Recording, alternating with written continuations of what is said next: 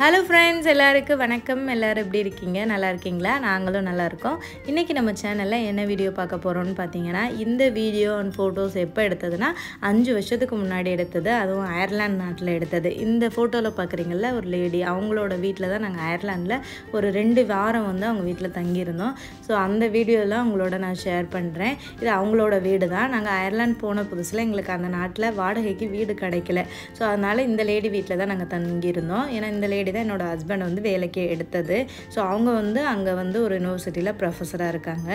So அந்த யூனிவர்சிட்டியில் தான் என் ஹஸ்பண்டும் வந்து ரிசர்ச்சராக வந்து ஒர்க் பண்ணாங்க. ஸோ போன புதுசில் வந்து அந்த நாட்டில் வீடு வாடகைக்கு பிடிக்கிறதுன்றது ஒரு மிகப்பெரிய விஷயமா போராட்டமாகவே இருந்ததுன்னே சொல்லலாம். அந்த அளவுக்கு வீடு வாடகைக்கு கிடைக்கிறதுன்றது ரொம்ப டிமாண்டாக இருக்கும். ஒரு வீடு வந்து வாடகைக்கு வந்து அனௌன்ஸ் பண்ணுறாங்க அப்படின்னா வந்து அதுக்கு ஒரு வெப்சைட் இருக்கும். அதில் வந்து போடுவாங்க இந்த இடத்துல இந்த வீடு வந்து வாடகைக்கு இருக்குன்னு. நம்ம அதை பார்த்துட்டே இருக்கணும் அந்த வெப்சைட்டில் அப்போ நம்ம நமக்கு ஒரு அதில் வந்து நம்ம வந்து ஓகே நாங்கள் வந்து வீடு பார்க்க வரோம் ஹவுஸ் வீவிங்க்கு வரோம் அப்படின்னு சொல்லிட்டு நம்ம வந்து அதில் வந்து இது மென்ஷன் பண்ணோம்னா நமக்கு ஒரு டைம் கொடுப்பாங்க. அந்த டைமில் போனோம்னா அதே டைமில் நிறைய பேர் வருவாங்க. பத்து பதினஞ்சு பேர்கிட்ட வந்து நிற்பாங்க அத்தனை பேருக்கு அந்த வீடு ஒரு வீடை எத் யாருக்கு கொடுக்குறது அப்படின்னு ஹவுஸ் ஓனருக்கே ரொம்ப கன்ஃபியூஸ்டாக இருக்கும்.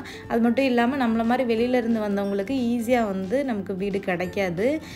லோக்கல் பீப்புளில் வந்து அதிகமாக ப்ரிஃபர் பண்ணுவாங்க. ஸோ அந்த மாதிரியே பார்த்துட்டு நான் போனாங்க இருபது முப்பது நாற்பது வீடுக்கிட்ட போனாங்க.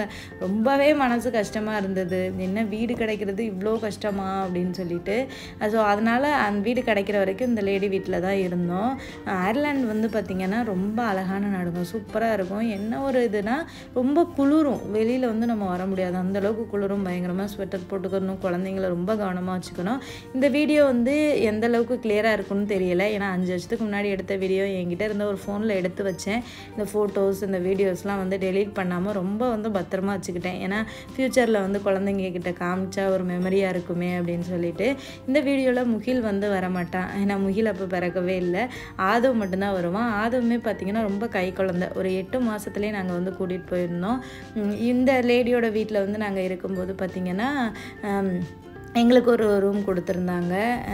அவங்களுக்கு வந்து மூணு பிள்ளைங்க ரெண்டு பசங்க ஒரு பொண்ணு. இந்த லேடியுமே பார்த்திங்கன்னா ப்ரொஃபஸர் அவங்களோட ஹஸ்பண்டுமே வந்து ப்ரொஃபஸர் தான்.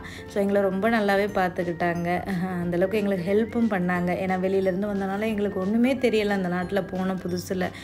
அதுவுமே வந்து பார்த்திங்கன்னா ரொம்ப நாள் கழித்து எங்களுக்கு வந்து ரொம்ப கஷ்டத்தில் இருக்கும்போது கிடச்ச வேலை. எங்கள் லைஃப்பில் ரொம்ப ஒரு லைஃப் சேஞ்சிங் மொமெண்ட்னே சொல்லலாம். அந்த வேலை அந்த நாட்டில் கிடச்சது. ஏன்னா பல கஷ்டங்களில் இருந்தோம் நாங்கள் பல கடன் நிறைய கடன் பிரச்சனை அது இதுன்னு ரொம்ப வந்து பண கஷ்டத்தில் இருந்தோம். அப்போ வந்து இந்த வேலை வந்து கிடச்சது மூலமாக நாங்கள் வந்து ஒரு ஆறு ஆறு ஏழு மாதத்துலேயே அதிலேருந்து ரொம்ப மீண்டு வந்தோம். ஸோ இந்த இந்த ஜாப் வந்து எங்களுக்கு ரொம்ப ஒரு லக்கியான ஜாப்னே சொல்லலாம். அது வந்து ரொம்ப நாளும் நீடிக்கலை. எங்களுக்கு ஒரு எட்டு மாதம் தான் நாங்கள் அங்கே இருக்கிற மாதிரி இருந்தது. இது வந்து என் ஹஸ்பண்ட் வந்து ஒரு யூனிவர்சிட்டியில் ஒரு டூ இயர்ஸ் ப்ராஜெக்டில் ரிசர்ச்சராக வந்து போயிருந்தாங்க. ஸோ ஒரு எட்டு மாதம் நாங்கள் அங்கே இருந்தோம். நல்லா தான் போயிட்டு இருந்துச்சு. அதே வேலை விஷயமா டெல்லியில் வந்து என் ஹஸ்பண்ட் வந்து அனுப்பியிருந்தாங்க. போயிட்டு ஒரு ஒரு மாதத்தில் ரிட்டர்ன் வாங்கன்னு சொல்லிட்டு அது பார்த்தா அந்த டைமில் கொரோனா வந்துருச்சு. கொரோனா வந்து நிறைய பேரோட வாழ்க்கையை மாற்றிருச்சு இல்லையா? ஸோ அதனால் எங்களால் திரும்ப போகவே முடியல. அப்புறம் ஊர்லேயே இருந்து அதே ப்ராஜெக்டை வீட்டில் இருந்தே பண்ணி கொடுத்தாங்க. ஸோ என்னதான் இருந்தாலும் என் ஹஸ்பண்டுக்கு ரொம்ப வருத்தமாக இருந்தது. திரும்ப போக முடியலையே அப்படின்னு சொல்லிட்டு. ஆனால் இந்த நாட்டில் நாங்கள் இருக்கிற வரைக்கும் நல்லாவே வந்து என்ஜாய் பண்ணோம். நிறைய ஆப்பிள் மரங்கள்லாம் இருக்கும். நாங்கள் போன உடனே பார்த்தீங்கன்னா என் ஹஸ்பண்டோட வேலை பார்க்குற அந்த யூனிவர்சிட்டிக்கு தான் போயிருந்தோம். ஸோ இங்கே வந்து மெனூத் யூனிவர்சிட்டி அப்படின்னு சொல்லிட்டு ஒரு கவர்மெண்ட்டோட யூனிவர்சிட்டி இருக்குது அயர்லாண்டோட கவர்மெண்ட் யூனிவர்சிட்டி ஸோ அங்கே தான் என் ஹஸ்பண்ட் வந்து ஒர்க் பண்ணாங்க. ரொம்ப அழகாக இருக்கும். ரொம்ப அழகான நாடு. நல்லாவே நாங்கள் நல்லா சுற்றி பார்த்தோம். எங்களால் முடிஞ்ச அளவுக்கு. அது மட்டும் இல்லாமல் ரொம்பவும் கஷ்டப்பட்டோம். ஏன்னா வீடு கிடைக்காம ஒரு வழியாக வந்து ஒரு ஒரு மூணு வாரத்துக்கு அப்புறமா எங்களுக்கு வந்து ஒரு சின்ன வீடு கிடச்சிது. ஒரு ஸ்டூடியோ அப்பார்ட்மெண்ட்டுன்னு சொல்லுவாங்க. ஒரு சின்ன கிச்சன் இருக்கும். அதுக்கப்புறம் ஒரு சின்ன ஒரு ஒரே ஒரு பெட்டு போட்டுக்கிற அளவுக்கு ஹால் இருக்கும். ஒரு சின்ன பாத்ரூம் அவ்வளோதான் ஒரு வீடே. பின்னாடி வர்ற ஃபோட்டோஸ்லலாம் பார்த்தாலே உங்களுக்கு தெரியும். ஸோ அதுதான் வந்து வீடே. அந்தளவுக்கு ரொம்ப குட்டியாக இருக்கும். பட் அந்த வீடு கிடச்சதே வந்து ரொம்ப பெரிய விஷயம். அது மட்டும் இல்லாமல் அந்த வீட்டுக்கு ரெண்டே பார்த்திங்கன்னா நம்ம ஊர் காசுக்கு ஒரு எழுபதாயிரம் எழுபத்தஞ்சாயிரத்துக்கிட்ட கொடுப்போம். ஏன்னா அங்கே மட்டும் பார்த்தீங்கன்னா வீட்டோட வாடகை ரொம்ப அதிகமாக இருக்கும்.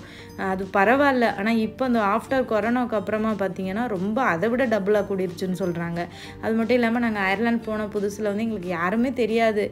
எனக்கு வந்து போயிட்டு ரொம்ப ஒரு வித்தியாசமாக இருந்தது. ஏதோ ஒரு தனி காட்டில் வந்து மாட்டிக்கிட்டோமோ அப்படின்னு சொல்லிட்டு. அதுக்கப்புறமா வந்து நாங்கள் நம்ம ஊருக்காரவங்க ஒரு ரெண்டு ஃபேமிலியை வந்து மீட் பண்ணோம். எங்கள் ஊர் ராமேஸ்வரத்துக்காரவங்க ஒருத்தவங்க ஃபேமிலியை மீட் பண்ணோம். அப்புறம் இன்னொருத்தவங்க நாகர்கோயிலுக்காரவங்க அவங்களாம் எனக்கு ரொம்ப ஹெல்ப் பண்ணியிருக்காங்க. நிறைய ஹெல்ப் பண்ணியிருக்காங்க. அவங்களெல்லாம் பார்த்ததுக்கு அப்புறமா தான் நான் வந்து இனிமேல் இந்த நாட்டில் வாழலாம் அப்படின்ற மாதிரியான ஒரு முடிவுக்கே வந்தேன். அந்த அளவுக்கு ரொம்ப வந்து சிரமமும் பட்டோம் நல்லாவும் வாழ்ந்தோம். இது வந்து ஆதவுக்கு பர்த்டே வந்தது. அப்போ வந்து அவங்க வந்து நாங்கள் போனோம் பார்த்தீங்களா அந்த லேடி அவங்க வீட்டுக்கு வந்து இன்வைட் பண்ணியிருந்தாங்க. இங்கே வாங்க பர்த்டே வந்து செலிப்ரேட் பண்ணலாம்னு சொல்லிட்டு கேக்கெல்லாம் வாங்கி கட் பண்ணி செலிப்ரேட் பண்ணி ஸோ அந்த மாதிரிலாம் நல்லா வந்து எங்களை வந்து நல்லா ட்ரீட் பண்ணாங்க.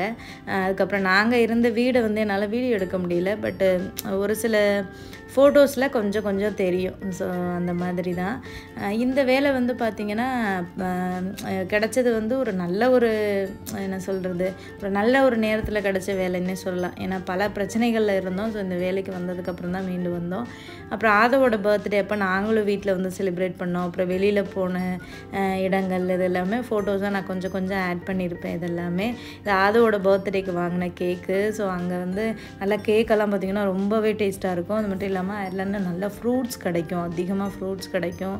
அப்புறம் நம்ம ஊர் வெஜிடபிள்ஸ்னு பார்த்தீங்கன்னா ஒரு கடையில் கிடைக்கும். நான் வாங்கினதே கிடையாது. ஒரு நாள் கூட போய் அப்புறம் எனக்கு எனக்கு அந்த ஃபேமிலி ஃப்ரெண்டானாங்கன்னு சொன்னேன்ல நம்ம ஊருக்காரவங்க ராமேஷ் அவங்கெல்லாம் வந்து எனக்கு வாங்கி கொடுத்துட்டு போவாங்க ஒரு சில டைமு நாங்கள் போய் ஏன் வாங்குறது இல்லைன்னா எங்ககிட்ட அப்போதைக்கு கார் கிடையாது. என் ஹஸ்பண்டுக்கு அப்போ டிரைவிங்கும் தெரியாது.